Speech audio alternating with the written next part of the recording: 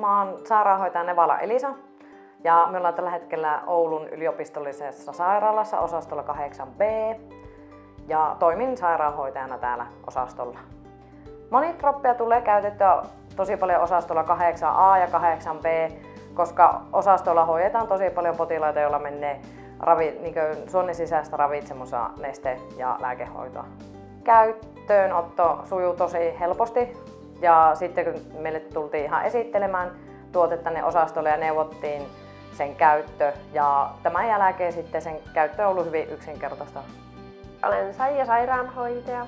Ollaan täällä Oulun yliopistollisessa sairaalassa kirurgisella vuodeosastolla 8B. Olen käyttänyt monitroppia paljon.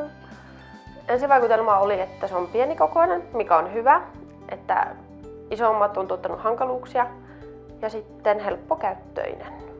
Vuodeosastolla on käytetty, meillä on ollut puolisen vuotta käytössä tämä monitroppi. Käyttöönotto sujuu hyvin, koska se on niin helppokäyttöinen, että muutamalle työkaverille sitä piti näyttää, miten sitä käytetään, mutta ilman mitään suurempia ohjauksia se on kyllä sujunut.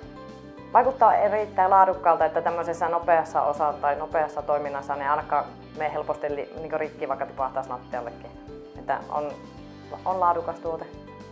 Se on vaikuttanut hyvällä tavalla. Mun mielestä se niin helpottaa hoitajien työtaakkaa.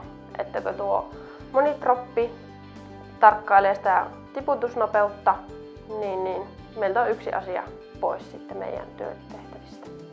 Voin ehdottomasti suositella monitroppia, koska se on kätevä pienikokoinen laite, joka nopeuttaa potilaiden hoitoa kiireisellä osastolla. Voisin suositella monitroppia kaikille vuodeosastoille, koska se helpottaa hoitajien työtaakkaa.